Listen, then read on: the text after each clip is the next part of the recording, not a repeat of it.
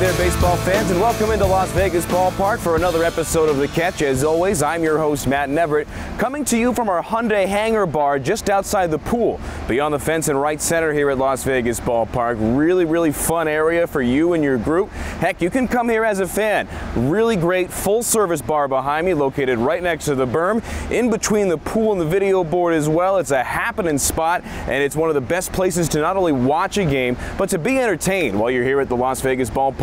It's the dog days of summer here at the beginning of August with the weather heating up. Unfortunately for the Aviators, their bats cooled down in a six-game series against the Reno Aces as they welcome their in-state rival for a six-game set to begin the month, unfortunately dropping all six games. It's the first six-game sweep here at Las Vegas Ballpark that the Aviators have taken. It was a series in which the Aces recorded two big wins, three late comebacks in the eighth inning or later, and overall outscoring the Aviators by a 55 to 21 run scoring advantage. Now, typically here on the Catch at Las Vegas Ballpark, we'll highlight highlights and some of the victories for the Aviators in these six game series. But in lieu of highlights, we thought we'd give you a special sneak preview into a new feature we've been working on. It's called What's in My Bag. A handful of Aviators players were really kind enough to take some time during and before batting practice to sit down with us, tell us what they like in their gear, how they came to use the gear that they use in games, and they break it all down right here on the Catch at Las Vegas Ballpark. This is Kevin Smith. Hey, this is Aaron Brown. This is Shea Langeliers. And this is What's in My Bag.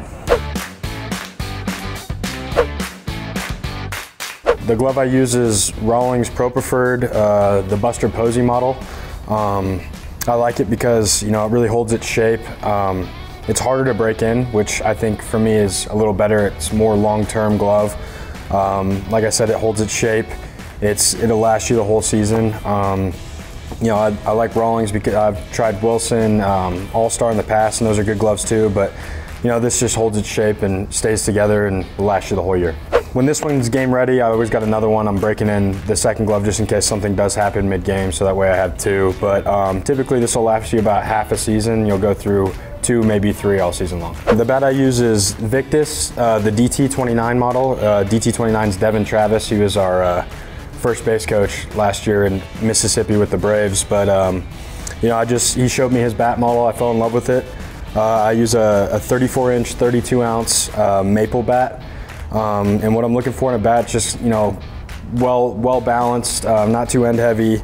Um, you know, a little tapered on the knob, and then obviously added my own lizard skin here just to help with blisters and just you know comfortability during the game. But um, red red cherry handle, black barrel, just uh, you know I guess just for aesthetics, just trying to look cool out there. But um, you know this is the the bat I use and I love it.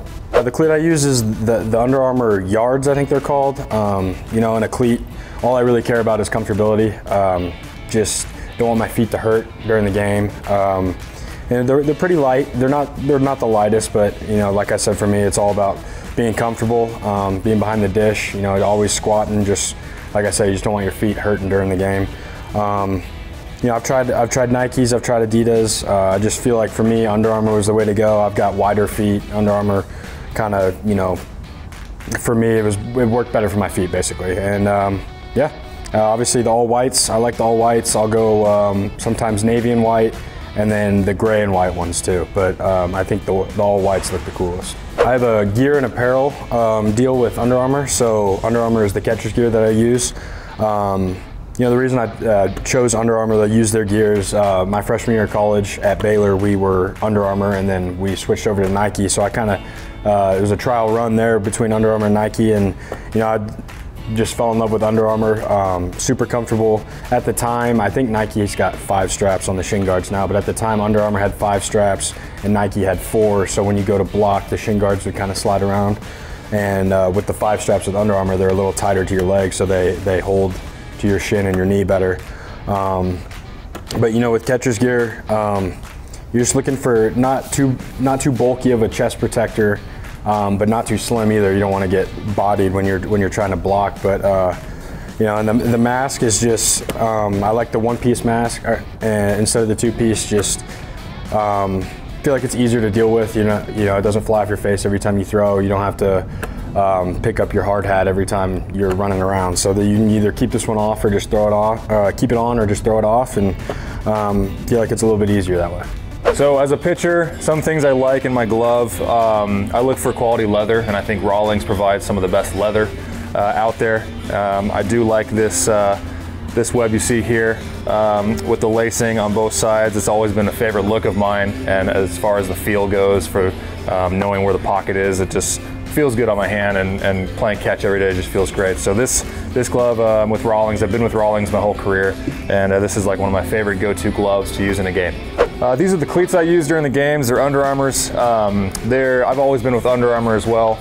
Uh, the uh, the pitcher's toe is a must-have um, for me, especially. I drag my foot quite a bit, um, so that, as you can see, the pitcher toe kind of wraps all the way around the front of the foot and then down the side. For me personally, um, I, I, would li like it to go a little bit further down here because uh, I do drag on the inside of my cleat there. Um, so if I were to change one thing about that, it'd be just that it covers more on the inside of the cleat. Um, but as far as uh, look. Um, obviously, these these are going to get dirty pretty quickly. So if I could change maybe some of the material on the top, um, maybe more of that um, easier to clean material that you see on some of the Nike shoes and, and uh, other cleats like that. Um, they've always been uh, my favorite cleat uh, my whole career. I've, I've never used anything else. I've tried other things like New Balance, Nike, and just never got the same comfort and uh, support as I have with the uh, Under Armours. So is my cleat. That's what I use in the games. Yeah, I mean, I've always used uh, 11 and a half inch glove, uh, whether I'm playing short, third, whatever it is. Um, I've had this tan color for five or six years now, so I'm really particular with my glove. This is like my fourth year using this as a gamer. Um, it's hard to break in gloves for me when it's perfect. I just kind of you know let it ride until it breaks and I'll relace it and stuff. So I keep it really basic with the color. It's just kind of a color I've always used and I'm comfortable with. Um, 1786 stock model. I usually take the padding out of the heel so that the ball really does, if I get a bad hop or if I'm inconsistent with my hand a little bit, the ball kind of fall in instead of coming out. So that's one cool feature that I usually do is take the padding out. Um, you can actually do that now on Wilson, but yeah, I've always used a Wilson. Wilson's been great to me, um, and I really don't use anything else. So I use uh, only Louisville Slugger I have since I got drafted, and um, I think they're Woods, you know, some of the best and consistent in the game. So I've always been a Louisville Slugger guy the last three, four years. Same with my glove, I keep it consistent. Um, this is a RA13, so Ronald Acuna model. I go black handle with the with a finished barrel. Um, I'll usually cup it 33 and a half, 31. Um, and then yeah, I mean I keep it pretty standard with the Acuna model. I don't really make any modifications. Sometimes I'll go, you know, a little lighter on the handle if I'm if I'm in the beginning of the season, I'm feeling good. If I'm starting to get towards the end, I'll bring some some weight down.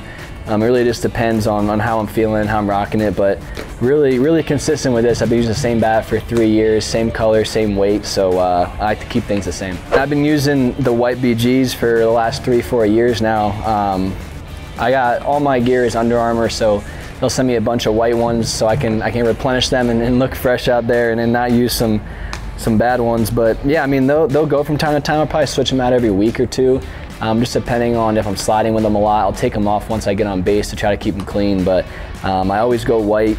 Um, Under Armour batting gloves have this really cool elastic on them that I like. It kind of wraps around your wrist a little bit better than other ones. Um, but yeah, this model of BGs, I've been using the same thing probably two or three years. Uh, try to keep it super simple, consistent, so I have the same feel up there when I'm in the box or in the field. Um, but yeah, these these have been great. A lot of my teammates kind of snag them from me. They like how they feel. They like they like the material that they are. So uh, shout out to Under Armour for making some great gloves, and uh, you know I, I, try to stick with these the best I can. And these are the new uh, Under Armour yards. They just came out I think a few days ago. I don't even know if you can get them on the website yet, but these are the 2022 or 2023 model. Um, we're 11 and a half, but I'm almost exclusively white. I mean, I'll, I'll, go some alternates sometimes, but I just like the way that the white looks when I look down. I'm really comfortable with white shoes on. Um, I think they look fresh. I try to keep them new as, as best I can, but um, the Under Armour cleats have been have been really good. I mean, you know, a lot of my teammates and a lot of guys that I know love wearing Under Armour spikes. They just feel like you know running shoes or basketball shoes, um, whereas other other cleats can feel like cleats and hurt your feet. Um, these have always been pretty comfy to me, and I keep it pretty simple with these. Um, the Harpers, the reason I don't wear the Harpers is because the the back spikes are molded, and I, I feel like I just get better traction when they're all metal. So I always stick with the yards. These came out, they're pretty dirty. I wore them last night for the first time. Um, but they felt pretty good, so uh, I'm excited to kind of see how they roll out and the different colorways they bring out for next year. A huge thank you to Shea Langeliers, Aaron Brown, and Kevin Smith for taking the time to sit down with us.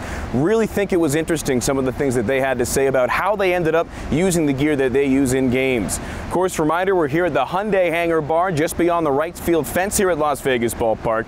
Great spot to not only watch the game, but with a full service bar behind me and the visiting bullpen right there, you can not only have fun at the game, you can have some fun with the opposing players as well. Oftentimes they'll sit there and talk to some of the fans, especially some of the local products visiting Las Vegas Ballpark.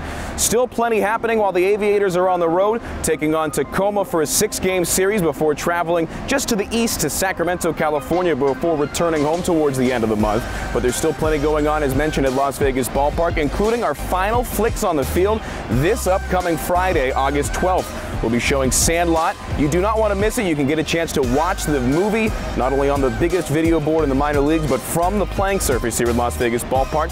For tickets and more information, visit thelvballpark.com. And then on Sunday, a blood drive sponsored by our friends at Vitalant Blood Bank. Visit vitalant.org for more information. That's been another episode of The Catch at Las Vegas Ballpark. I'm Matt Neverett saying thank you so much for tuning in. Be sure to follow the Aviators on social media at AviatorsLV. Throw me a follow while you're at it at Matt Neverett. This has been another episode of The Catch at Las Vegas Ballpark. Thanks for having a catch with us.